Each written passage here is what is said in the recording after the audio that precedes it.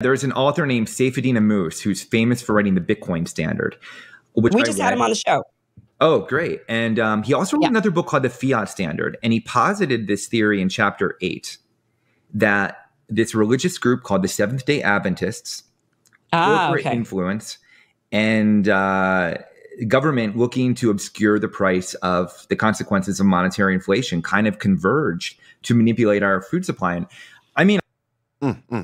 So Matthew stated that Saifedean Ammous understated, underscore that word, operative word, understated the case of Seventh day Adventist being used to manipulate the food supply.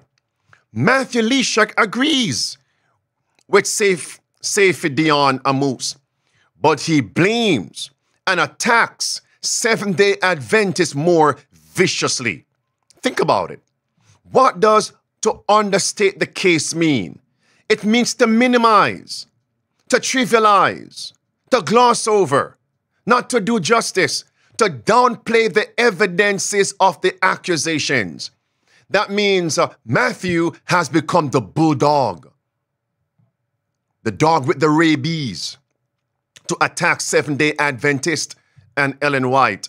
Let's analyze what we have covered so far. Matthew insinuates that he is an investigative journalist and nutritionist, but Saifedean is not.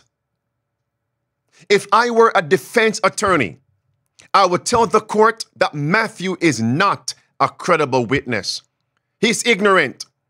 The man is spreading misinformation, disinformation, lies. Matthew did not do his homework regarding Seventh day Adventists Ellen White about these issues and accusations.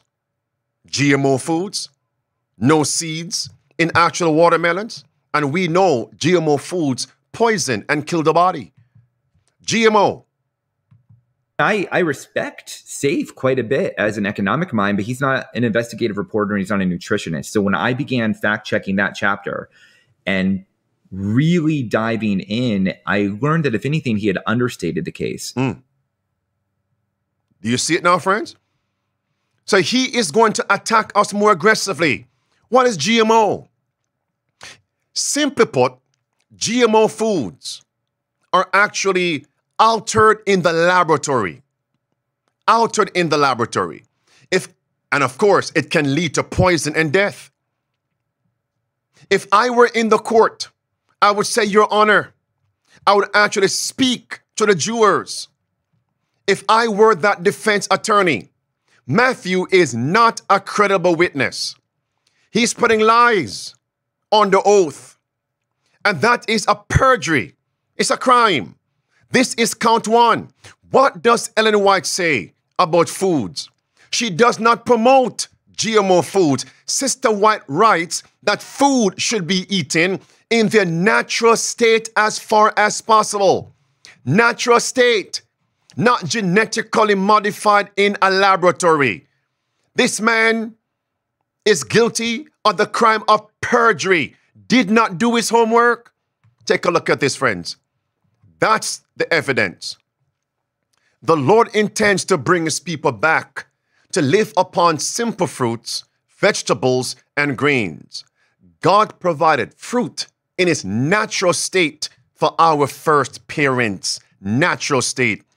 God provided fruit in its natural state for our first parents as He gave to Adam the charge of the garden to dress it, to care for it, saying, To you it shall be for meat. It will be well for us to do less cooking and to eat more fruit in its natural state. Let us teach the people to eat freely of fresh grapes, apples, peaches, pears, berries, etc., and all other kinds of fruit that can be obtained.